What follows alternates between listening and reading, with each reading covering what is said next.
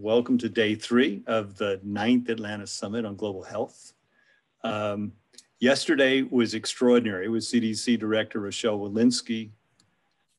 And um, hmm, I'm having a hard time here. Uh, with Rochelle Walensky and panel talking about vaccines and where we're going and how we're going to distribute those vaccines and how we're going to get greater number of people vaccinated. If you missed it, please check it out on our YouTube channel.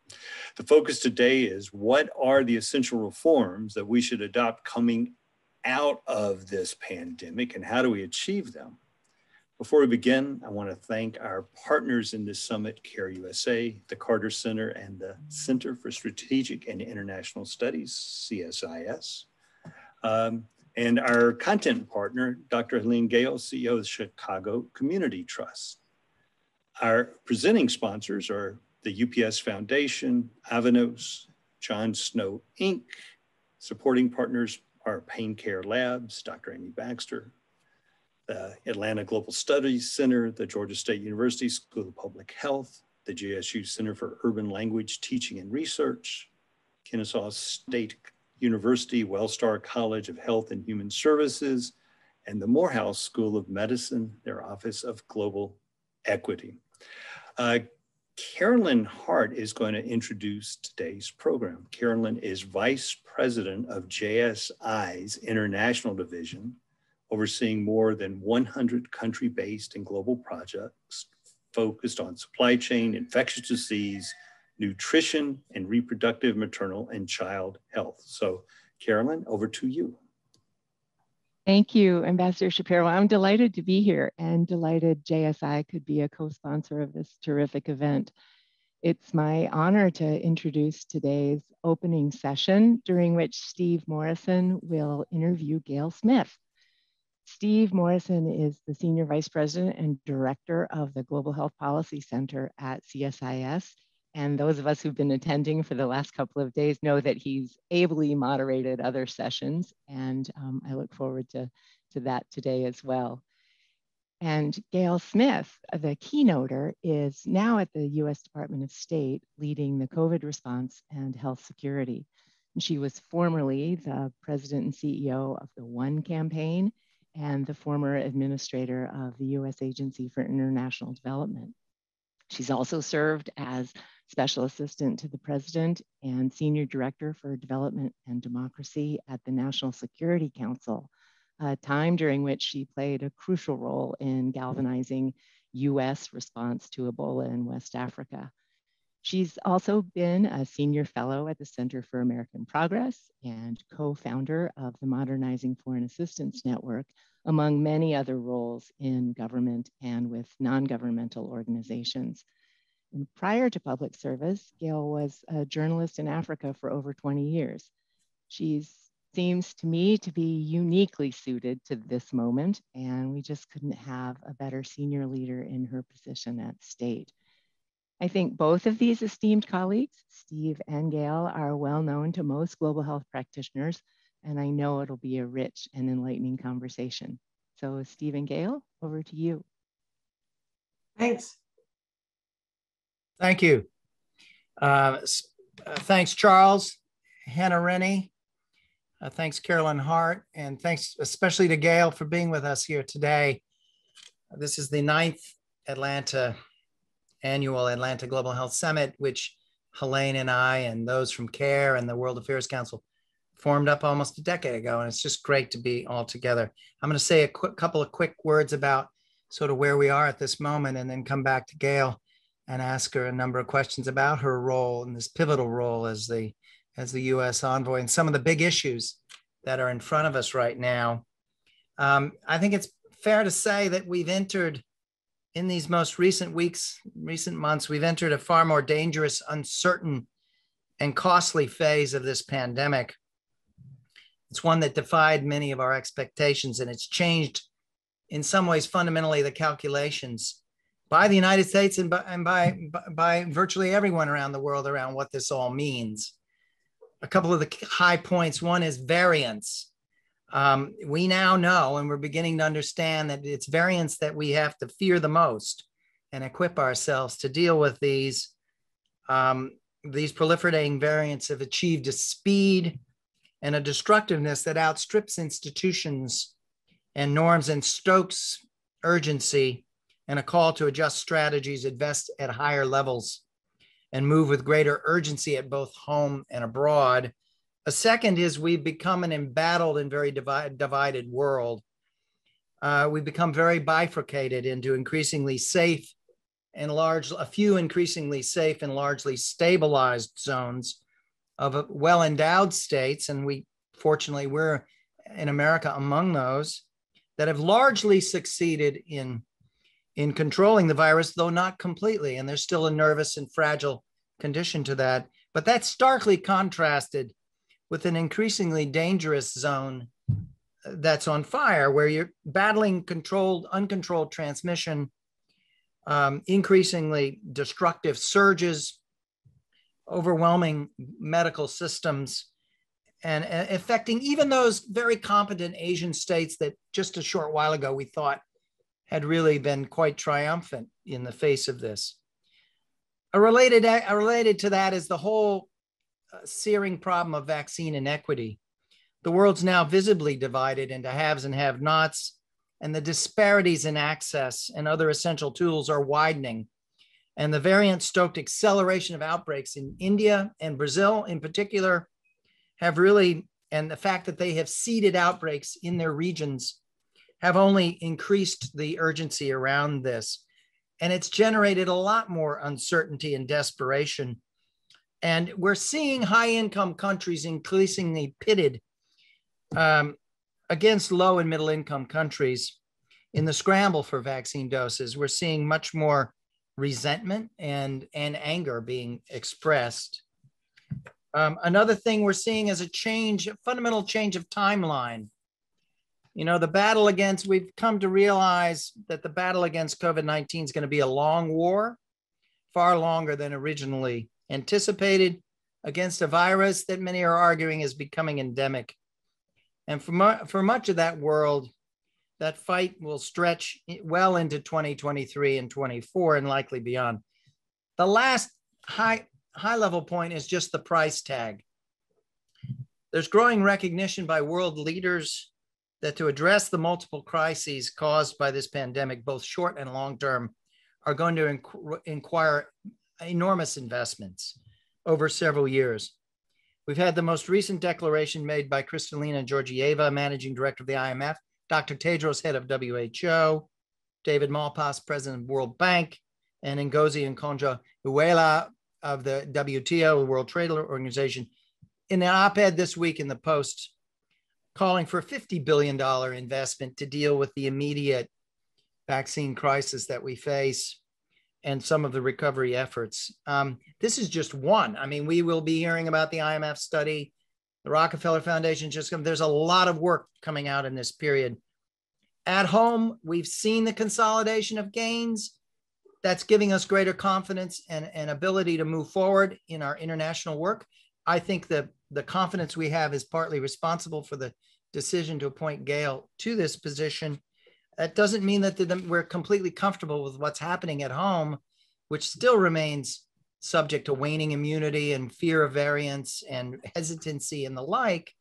But the international and the domestic agendas are getting very fused. And I think there's a recognition that we have to do far more on the international side. And we'll hear more about that from Gayle. We're, we've in 2020, there was a stark and sort of shocking absence of high level diplomacy as this crisis unfolded. There were a few exceptions around the COVAX creation and the ACT accelerator, but there was a dominance of nationalism and inwardness and geopolitical confrontations between the US and China and others of fragmentation. We're coming out of that period in some to some degree right now.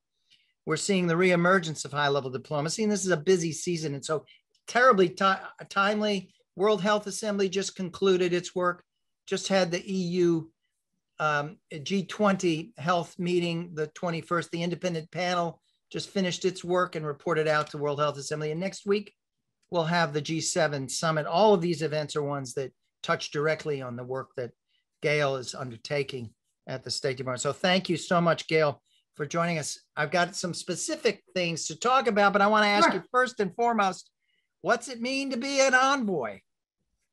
Um, it means that you're busy and you don't sleep much, but it also means that, quite honestly, you've got the privilege to try to do everything we can on this. And my role at the State Department, because we've got a big team across the federal government, uh, and it's a it's a role I agreed to on a temporary basis, uh, is to build out our global response. Number one, number two, lay the groundwork for what we call global health security. How do we position the world, institutions, norms, our own countries, other countries, to prevent, detect, and respond to the future global health threats we know are coming? And also to work with the department on its role as it thinks about this kind of threat over the next 10, 15 years. So it's been busy, hit the ground running. Uh, so that's basically my job. But as I say, I'm part of a big team. And when you say temporary, you mean this is more of an interim kind of appointment. And yeah. by definition, yeah. an envoy is not necessarily permanent. It's an envoy. It's a special envoy. It's I'm I'm actually called coordinator because if you have international COVID envoy, it's called ICE, and uh, I'm I'm the coordinator the All State right. Department coordinator on those two things, the global response and global health security. Yes. Okay. So let's talk about a few things that are there at the moment. There's been a lot of discussion this week and before about WHO reform. Um, Dr. Tedros um, is coming up for renewal or uh, coming up for the possibility of a second term. Um, there's been uh, a lot contained in the independent panel on pandemic preparedness and response, uh, on the reform, talking about getting out of earmark budgets, changing to a budget that gives it more ability to operate, um, giving it greater inspection authority, uh, changing its approaches, being faster, faster in terms of response and declarations of emergencies, um, having higher quality and accountability. Um, are you hopeful that this agenda can be moved forward as the U.S. reconnects with WHO? And and and what are mm-hmm. you? What's the strategy for moving forward in this next period, in your in your view, on what is really an important way of strengthening WHO at this time and rebuilding American confidence and investment in WHO? Yeah, I, well, I think there are a couple things to that, uh, Steve. And yes, I am optimistic. I'd say a couple things. The first is I think, yes, we have to think about WHO reform, but we've also got to think about WHO modernization, by which I mean that the lens through which we should be looking is one that tells us how do we strengthen those elements that have not been as strong as they need to be, given what we know from this pandemic. But also, we've got to think out 10 or 15 years all the time. How do we make sure that WHO is fit for purpose, not just for the current pandemic, but for the range of kinds of global health threats we may see in the future. So I think that's one important mm-hmm. point. Second point is that the reform and modernization of WHO and frankly other institutions, I think, is nested in a broader strategy for going forward. The, the second is to think about norms. We've got something called the International Health Regulations. Countries are signed up. Adherence to those norms is quite frankly not what it should be. So how do we make sure that we've got the norms we need, but also adherence to the norms? Third piece, and you mentioned there's a big price tag here, and I think that the IMF and Bank and WTO and WHO, we're talking about the immediate response. Right. But there's a big price tag to setting the world up so that we do not repeat what we've all been living through over the last 18 months. That requires figuring out what sustainable financing is. And this is a big priority for us and for me because relying just on foreign aid budgets that may go up or down, you know, we did a lot of that after Ebola. The world was ready to do a lot of this after Ebola and, and relied on an unpredictable, uneven flow of capital. And then the last, and the, the expert reports that you mentioned touched on this, I think, in very important ways. How do we ensure the transparency that is needed? You need transparency to track, monitor, catch up with, and uh, ultimately defeat a virus the accountability and the oversight because the world is only going to be as good as each of us are at adhering to the norms, making the institutions strong, but living up to the things we sign up to. So, so I would nest the WHO reform in that broader, broader strategy. So you mentioned the independent panel. We talked about Yeah. that. It's it's contains a number of fairly bold proposals, right? In terms of a council of heads Yeah. of states. Tell us a bit about your thoughts on some of those bigger proposals that are put forward. I, I'd say, and and look, Steve, you've served in government also. We haven't made final decisions. I would say we welcome uh, the recommendations from that panel, and there are other panels. There's a G20 panel. There's a European panel. Fortunately, we've got the benefit of a lot of really smart minds and experts coming together to say here are the kinds of things that we need. Um, I think we're quite excited about the boldness of some of the proposals, eager to work through them uh, see what works. We're talking to many partner countries about some of these to figure out how we move forward on many of them. So I think uh, I, I, would say our view is we're exceedingly fortunate to have those recommendations to work with and so many intelligent, knowledgeable minds uh, giving their best to what the world needs to do. It's quite exciting. That's great. That's great. Um, on the origins controversy and the Wuhan Institute for Virology, um, there's been a pretty dramatic shift of opinion within the scientific community as well as the analytic community. I mean, our own government is pressing for um, a, a, much more serious investigation, of the possibility of lab yeah. leak, as against to a sort of zoonosis, natural spillover from animal to human species. But it looks it looks like a deadlock. I mean, it looks like uh, very difficult to imagine how to get out of this box at this point. Any thoughts on that? I, you know, I'm I'm that's not my primary focus to be yeah. frank, but I think yeah. that the world needs and the US will keep pressing for an independent fact-based investigation. And you know, a lot of this gets politicized. The fact is, and I think many of the people watching this know this, when you are fighting a virus, whether it's HIV, whether it is Ebola, whether it is COVID 19 or a variant. You need every bit of data, science, evidence, and information you can lay your hands on to help you understand the virus so you can more effectively go after it. And that's the really important thing. And I think that's why the US government has been consistent in saying there must be an independent science and evidence based investigation to figure out the actual facts on the origins. Thank you. On the vaccine crisis, I mean, yeah. we know that there's a certain urgency to this. I mean, the the call to big urgency to this from the agency heads, and it's going to be enormously expensive and complicated to pull off. I mean, we're talking 50 to 75 billion, depending on which which source you're looking at, over an 18 month period, combining a lot of different funding mechanisms and responses um, are we, how are we going to come to terms, do you believe, with the sticker shock of this?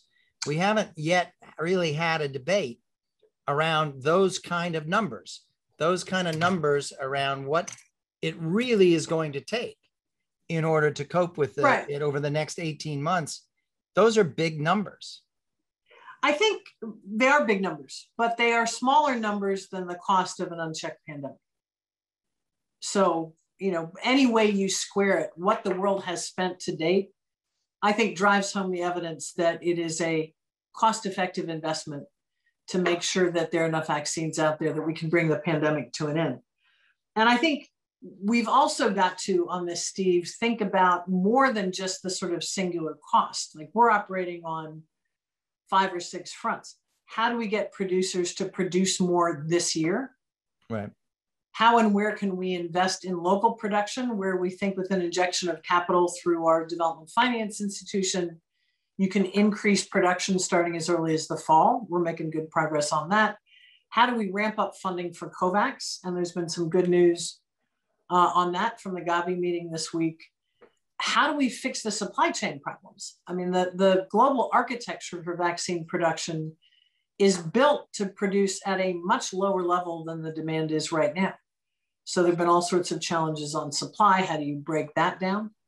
Uh, and how do we expand and maximize dose sharing, which I'm pleased the president has been out there with a 80 million number. We've had more things to say on that very recently.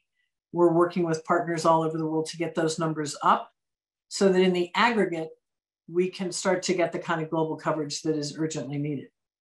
We're seeing calls coming from multiple directions now uh, for the G7 next week to come out with a pledge of a, at least a billion doses, uh, surplus shared doses uh, over the course of this year, and then higher numbers next year. You think that's realistic? I, I think there's, I mean, my sense, and I talk to obviously a lot of G7 partners often. Uh, I, I think there's a real commitment on the part of the G7 uh, to do more to act as a body. I'm very hopeful about the summit. Uh, you may know this about summits. For others, that this is my, I don't know, 18th or something if you count G7s and G8s and G20s. Uh, a lot of the final negotiations are in the time leading up to it. But I think if you look at some of the recent announcements from various G member G7 member countries, I think we're going to be on a good track. I'm very hopeful it'll be a good week next week. Good. I mean, I was encouraged to see the big pledge this week at the AMC for the COVAX facility. Yep. That was an, another good sign of support internationally.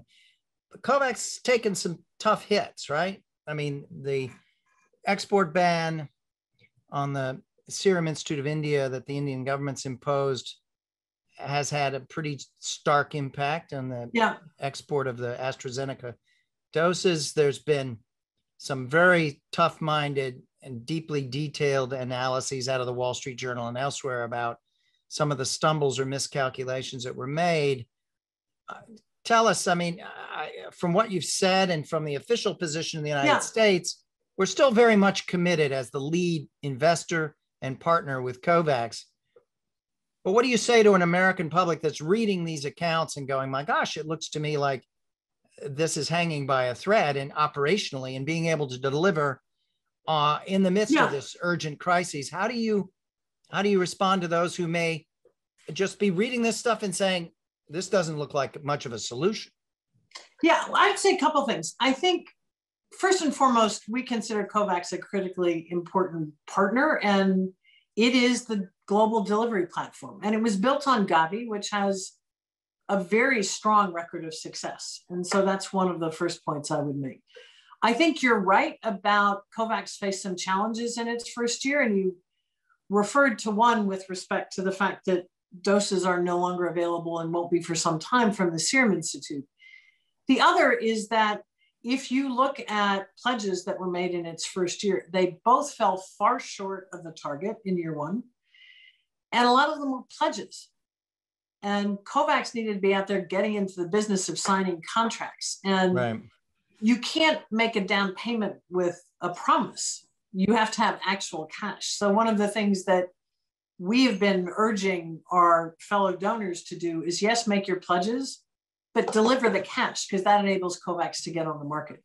I think we're going to see with COVAX having more cash in hand, with this move to get increased production, with increased dose sharing, I think we're going to see a real uptick from COVAX, and we found them to be a good partner. And quite frankly, we feel it's also in our interest to partner with them to help them be as strong and effective as they can be. Thank you. Now, there, when when uh, the U.S. Trade Rep Katherine Tai made the announcement yeah. just recently about the United States would would join in the WTO uh, effort at, at, at examining the, the suspension of, of, of uh, of patents of intellectual property and in the midst of this emergency. It set off quite a bit of debate and controversy here yeah. in the United States. But much of that debate and controversy was about this move and what did this, what might this do with reference to production versus what might this do in terms of motivating the vaccine developers and manufacturers to think differently about the future. And it also is often followed by, well, you know what we really need here are innovative partnerships that are going to expand the manufacturing base, accelerate things, fix the supply chains, yeah. get the bases of production out into Latin America, Africa, Asia, where they're needed closer to the uh, closer to the populations that most need them. So how do these pieces connect up? I mean, the US has taken this position, it's sticking with this position. It's yeah. also emphasizing the second part of this. So how do yeah. these pieces tie together in your view? I, I, think the way they fit together is it's a combination of what we need to do now, but also a lot of that is for the future. And obviously, vaccine production is concentrated. Um, the architecture is less robust than it needs to be for the volume that is needed in an emergency. So, how do you solve that? And the US position on supporting a temporary TRIPS waiver uh, was based on the fact, as the US Trade Representative said at the time, this is an utterly extraordinary once in a century moment. And we've got to be willing to take extraordinary actions and look at every single opportunity. Now, it was not anticipated, nor should it have been, that taking that position was going to suddenly bring about the delivery right. of vaccines. What it does is opens a debate, a discussion. They go into text negotiations. Uh, and I'm very glad we've taken the position because I think it does have an impact and I think it does affect the, the nature of the discussion, quite frankly. But at the same time, I just want to underscore a, a point you made that is really, really critical. We need to expand and decentralize vaccine production so that there isn't a reliance on too few producers and there's greater access in more regions of the world. And that's where our strategy with the DFC comes in is how can we start doing that now but also for the future. Because think of the vaccines, we all know, those of us who work on global health, of the childhood diseases, the other things we've all worked on for so long. If those vaccines can be produced in more places, that's also effective and more cost effective. Gayle, um, I know we're we're going to run short of time soon, and we don't want to ask too much of your time in the midst of all of the other pressures on you. Let's talk a bit about pandemic financing, sort of long-term financing yeah. for partner states, mostly low-income countries, lower middle-income countries in terms of working with those countries. They are going to be investing more in their capacities. They're going to need more access to better pandemic financing. There's a lot of discussion going on. The administration's played a very vitally important role in trying to stimulate those conversations. You've participated, uh, Ambassador Linda Thomas Greenfield has been involved, uh, Vice President Harris ha has been involved. Um, and in the current budget for FY22, there's a modest amount, 250 million of that billion in global health security funding that's seen as sort of a down payment moving forward. But my understanding is we're in a phase right now, a transition phase of thinking ahead on what some kind of coalitional effort would look like. It may not be a new fund per se, it may be some kind of coalitional effort that is a mechanism for getting these resources in. And the demand is somewhere between 10 and 25 or 30 billion a year, depending on how, what you're counting under all of this. And I understand there's consideration of the US playing a role of in the fall and perhaps convening folks, but looking ahead to having a game plan that can be entered into the deliberations over the next fiscal year budget and the like. So that's a long-winded way of what can you tell us about the strategy on this? Yeah, and, and look, this is a really uh, tough nut to crack, but I'm as focused on this as could possibly be because we got to crack it. Yeah. And the challenge is is that if we say for pandemic financing, for building the capacity of countries to prevent, detect, and respond, right? For closing the holes in the net, that we're going to rely on aid budgets and that's going to sustainably finance us for the next several years. Right. Been the aid administrator. I've worked on multiple budgets, and aid budgets fluctuate. They go up and down and there's not a guarantee of predictable financing if we rely solely on oda so what other means of financing do we look at? And that's why we're talking to banks we're talking to finance ministers we're talking to development leads we are talking to the omb or budget equivalents in developing countries to look at what all the options are for generating enough capital to get the job done, but making sure it's sustainable and it's predictable. Because if we don't, we're at risk of repeating what happened after Ebola. I was in the Obama administration then. We marshaled a lot of interest through the global health security agenda, mobilized resources, commitments from wealthier countries to provide assistance. And it lasted for a while. But it ultimately wasn't sustained. Politics change, leaders change, governments change, other aid priorities step into the mix. So this time, and given how much we have spent over the last 16 months, I think the world has an obligation to figure this out. So that's our aim. We don't have all the answers yet, uh, but we're trying to be as creative as we can to look at a combination of things that would ensure a steady, regular flow of capital so we can get the job done and not look at it as a project that eh, maybe we finish and maybe we don't. Can't afford to do it that way. Thank you. Um, one last question. Sure. Um, you're at the State Department. Um, you're a, a oh. transitional.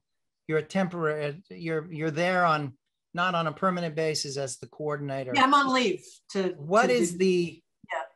You know, uh, the State Department's going to need, I would expect, more capacity on a durable base, on an enduring basis, institutionally, in global health security. You have any thoughts on that?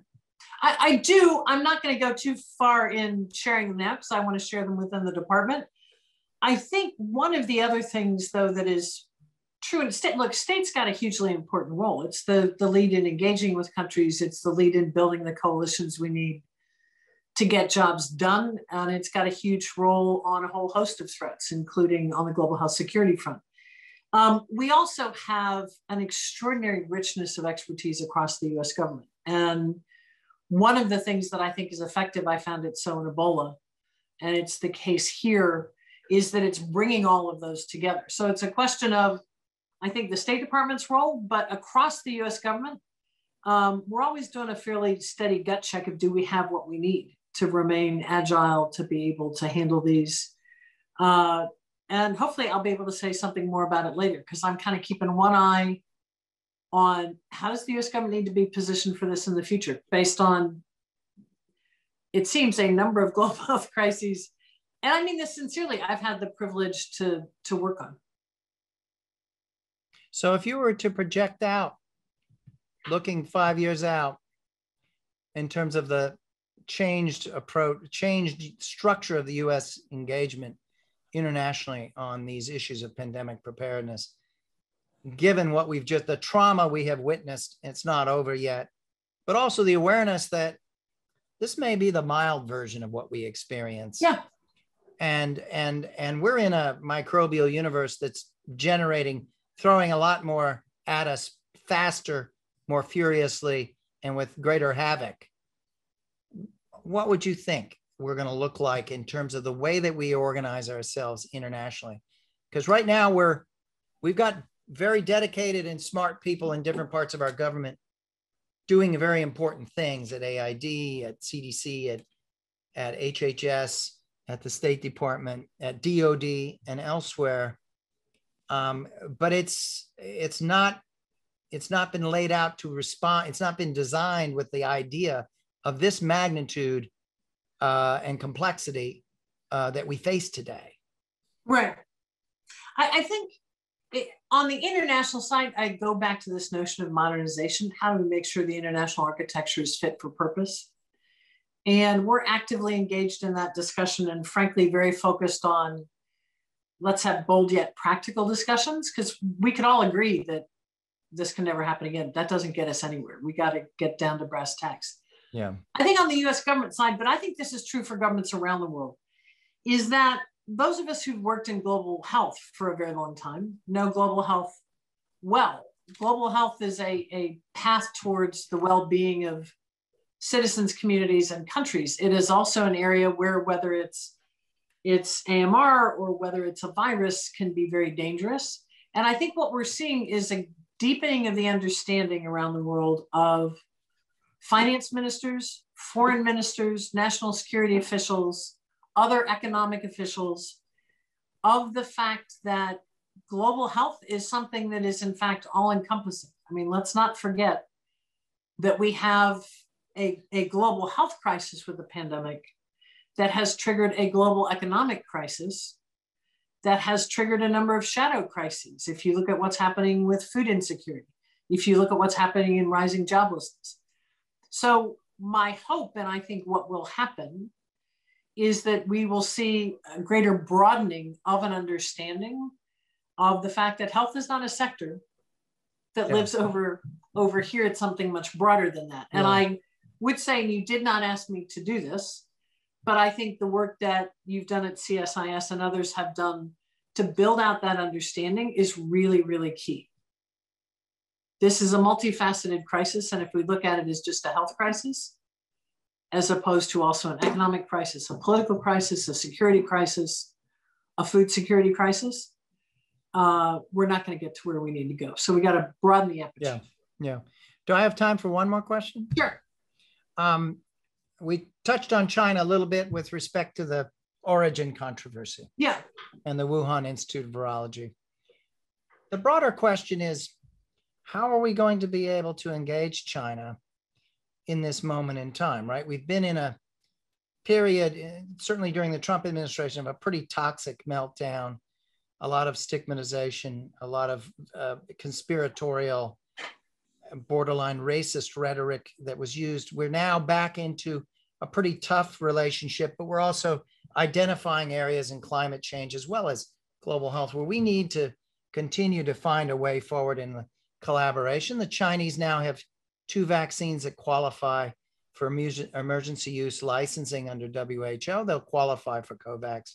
They have an active diplomacy on vaccines, which if they're if they're moving product that's safe and effective, we should favor that.